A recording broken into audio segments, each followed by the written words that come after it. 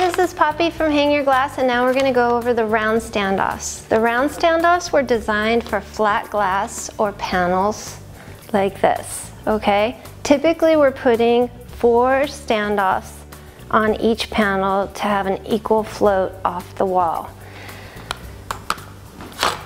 The standoff is going to permanently affix to the glass. The bracket is going to screw into the wall using this large oval hole, which gives you a little bit of wiggle room as well. And then the standoff simply slips in to the bracket, just like that. Now, we designed these purposely to be loose. So if you use them individually, your, wall, your art will tilt back into the wall. On a smaller panel, I put the standoffs on a diagonal and that way my art will not tilt back into the wall whether I want to hang it vertically or horizontally. So on this large panel here, um, again we've got our four standoffs. We always keep our standoffs close to the edge to do our no measuring instructions.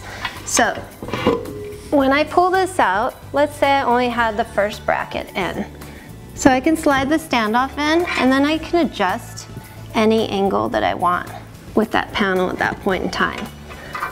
So when installing this panel, I go to get the second and the third bracket in.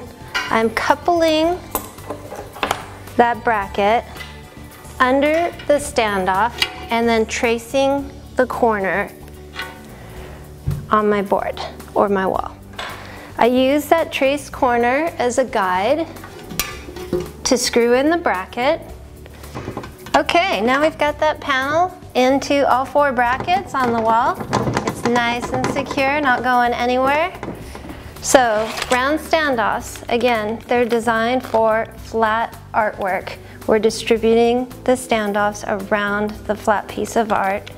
And uh, thank you again for joining me and learning more about how to use round standoffs.